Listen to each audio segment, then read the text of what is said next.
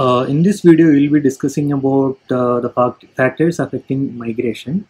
So, why migration? So, we can see that there are so many refugees who are happening in Syria, Myanmar, and all those stuff.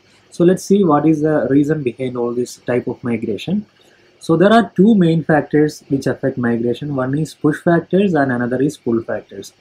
Let's see what are the push factors. Push factors means one is like unemployment of course if if a, play, a place the population is high there is no job you have to sus- survive in that particular time. You have to migrate. That is the only thing you have to do. So, so you can see that some of the state like bihar and all those people bengal people will be migrating for jobs to other states like kerala and all.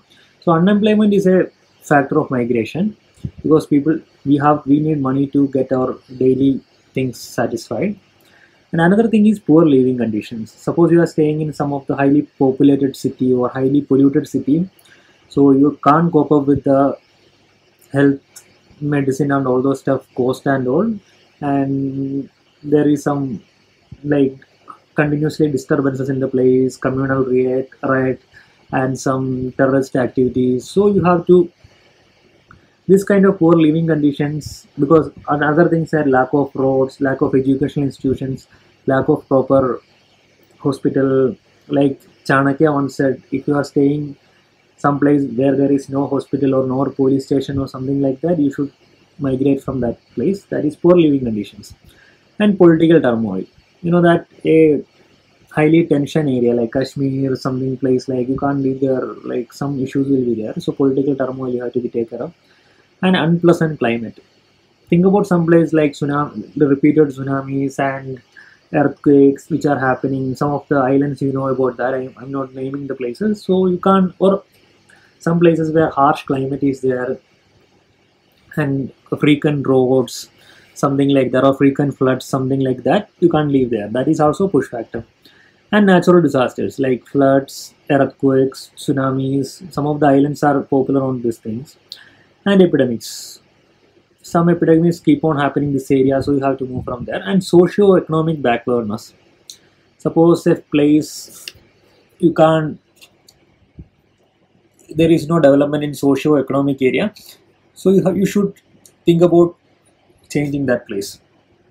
And let's go to the push factors. You have heard over the push factors. Let's see what are the pull factors like push factors means why people go out of a place pull factor means why people come into a migrate into a place one thing is pleasant climate.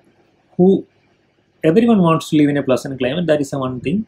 And better job opportunities. Obviously people will go there migrate there like gulf countries. So many people are migrating from india indonesia and other thing because better job opportunities better standards of living. Of course if you go to europe and america there will be good roads good quality air good quality foods. Everything is education everything is best. So you will go prefer for better standards of living and peace and stability. Okay do you want to live a place there come continuously riot happening firing and all the political turmoil? So wherever peace and stability is there? Natural tendency is the people will move there. And security of life life and prosperity.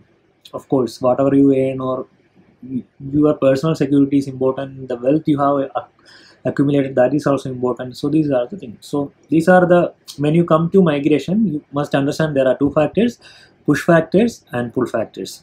So these are the important points regarding migration and why migration happens. Thank you so much for watching